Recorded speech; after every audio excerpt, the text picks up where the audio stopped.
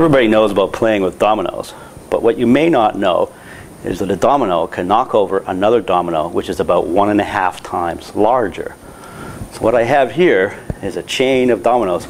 Each one is one and a half times larger than the previous one. And the smallest domino is about five millimeters high and one millimeter thick. And I will carefully place it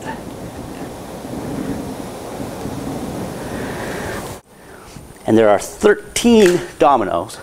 And the largest domino, it weighs about 100 pounds uh, and is more than a meter tall.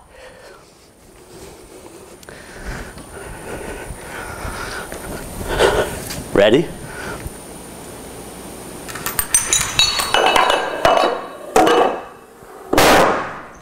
Boom. That was 13 dominoes. If I had 29 dominoes, the last domino would be as tall as the Empire State Building.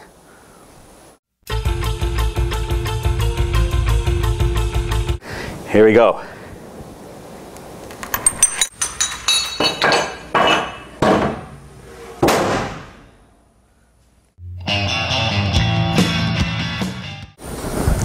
What's the physics going on here? Well, every time you stand up a domino, you lift it against gravity. And that stores some of gravitational potential energy in the domino. And you only have to put in a little bit of push to get it to that tipping point. And then you get all that energy back again when it falls over. And that's more than enough energy to knock over the next domino, which releases even more energy.